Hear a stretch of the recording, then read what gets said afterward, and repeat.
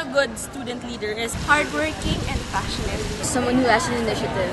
Someone who listens. Committed. responsible, It's one with the students.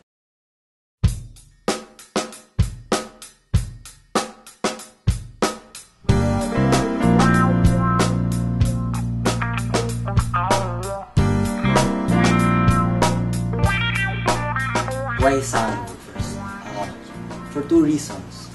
First, I see Sanggu as a means of me to give service to others. Through Sanggu, I'm able to help others become better people. Uh, specifically, for my example this past year as a school board chairperson, I was able to help the SAW students become more bonded. I was able to help them become more politicized. The second reason that I see Sanggu as also a means of formation for myself. As a leader, I'm able to uh, learn how to manage people, able to build relationships. So the vice president, I believe, is more on the micro level, the internal things. So with that, I'll be able to use more my skill of being a people person. My vision consists of three parts. First, connection. Envision the Sanggu as a student government that draws connection or has connection with its students. The second is uh, relevance. I envision the Sanggu as implementing projects that are relevant to the student body. And third, formation. The Sanggunian, again, I want it to be, it's not just a service to other people. As members of the Sanggu, yes, we want to give service, but also I want it to be, again, a means of formation to its officers. Para sa ideal officer, simple lang, ginagawa niya yung kailangan niyang gawin. Kung officer ka, tungkulin mo mag-attend ng meeting, and then lahat bubaba sa meeting. Kung rep ka, na dapat kinokonsult mo yung students, dapat ginagawa, nilalapit mo sa channel. And at higit doon, and more than that, maybe going beyond your what is expected of.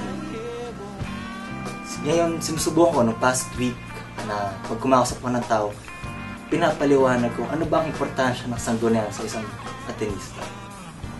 At tingin ko yun ang susi. Pag nalaman nila kung gaano ka-importante ang sanggunian, ayun, naingganyo silang bumunta. Three years ako sa sanggunian at pang-apat ko na kung papalarin. Mahal ko itong sanggunian. Mahal ko yung ginagawa ko dito. At pag mahal ko yung isang bagay, ginagawa ko ang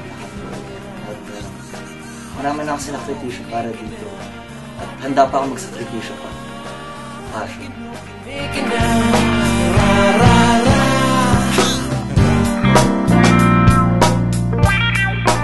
Well, actually, I've been asked that a lot.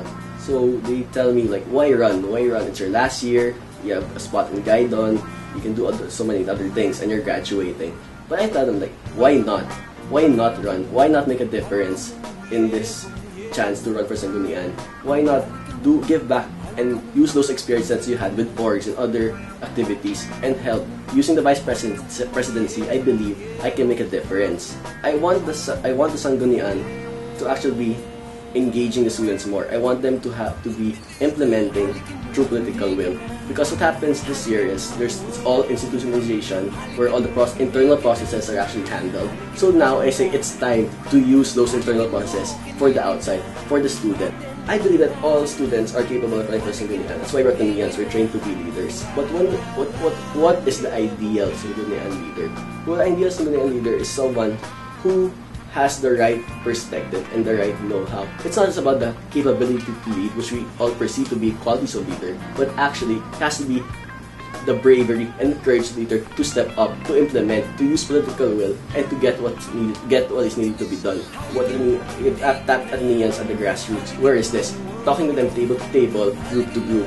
This is where you get to know them more, know the problems, know the need of the Sanggunian, the students, and we tap the online uh, the online world where we tap Facebook and the forums where people can ask us questions on our platform or any kind of uh, any kind of material. And because of this, I believe this is the approach that Sanggunian has to take to be more grassroots, to be more engaging to the students, to know the students need. It's it's more of perception, like how people perceive Sanggunian currently. They see it as a group of people and very out of touch with students, as an exclusive club.